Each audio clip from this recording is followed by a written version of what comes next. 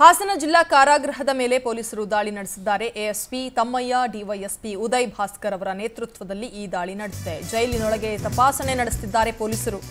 ಹಾಸನ ಜಿಲ್ಲಾ ಕಾರಾಗೃಹದ ಮೇಲೆ ಪೊಲೀಸರು ದಾಳಿ ನಡೆಸಿದ್ದಾರೆ. ಖೈದಿಗಳ ಕೊಠಡಿ ಸೇರಿದಂತೆ ಎಲ್ಲಾ ಕಡೆ ಪರಿಶೀಲನೆಯಲ್ಲಿ ತೊಡಗಿದ್ದಾರೆ.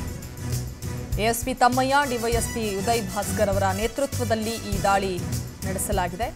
ತಪಾಸಣೆ ನಡೆಸುತ್ತಿದ್ದಾರೆ ಪೊಲೀಸರು. ಖೈದಿಗಳ ಕೊಠಡಿ ಸೇರಿದಂತೆ ಎಲ್ಲಾ ಕಡೆ ಪರಿಶೀಲನೆಯಲ್ಲಿ ತೊಡಗಿದ್ದಾರೆ. ಜೈಲಿನೊಳಗೆ ಫೋನ್, ಮಾದಕ ವಸ್ತುಗಳ ಬಳಕೆ ಹಿನ್ನೆಲೆಯಲ್ಲಿ ಜಿಲ್ಲಾ ಕಾರಾಗೃಹದ ಮೇಲೆ ಪೊಲೀಸ್ ಅಧಿಕಾರಿಗಳು ದಾಳಿ ನಡೆಸಿದ್ದಾರೆ.